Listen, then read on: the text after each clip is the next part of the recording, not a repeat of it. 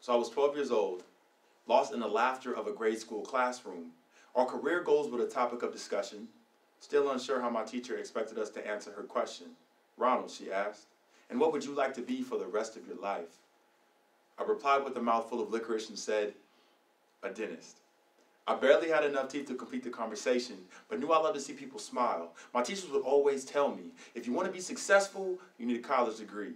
If you want to beat the streets, you need a college degree. If you want people to respect you, you need a college degree. But getting me to do anything academic was literally like pulling teeth. Despite all that, I was still accepted into a four-year institution. Nobody told me what to expect, but everybody was happy I was going. My mother, my father, my grandma, her neighbors, my uncle. My uncle was so proud. He too was accepted into an institution.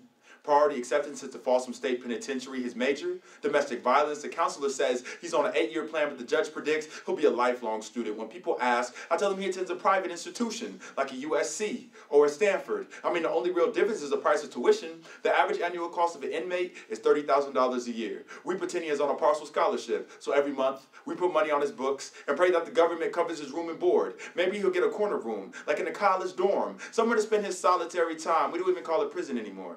He's just studying abroad at maximum security, military-style boarding school with a really bad meal plan, great medical, and even worse work-study conditions, hiring low-income students for high-demand labor at 95 cents before deductions. So to me, from my point of view, me and my uncle are just two struggling college students, seeking enlightenment in a system meant to recycle, reduce, and reuse our minds until somehow our mental health becomes the only topic on our final exam, and there are no tutors to help him study. My uncle, who's made money for corporations that refuse to review his resume when he gets out, if he gets out.